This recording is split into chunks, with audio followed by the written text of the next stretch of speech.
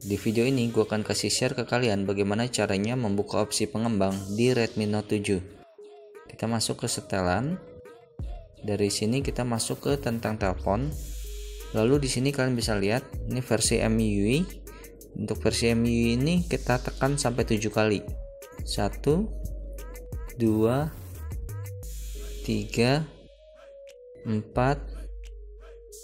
5 6 dan yang terakhir 7 di sini sekarang ada adalah seorang developer. Lalu kita back.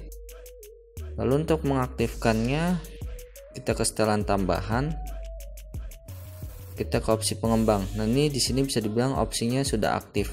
Lalu biasanya di sini yang kalian bakal sering pakai yaitu debugging USB nya kalian on kan lalu kalian oke. okay.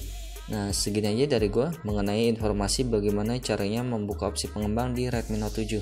Kalau suka dengan informasi ini, jangan lupa kalian kasih like dan kalian kasih komen dan dukung gue dengan cara subscribe. Oke, okay, see you bye bye. Have fun. Dadah.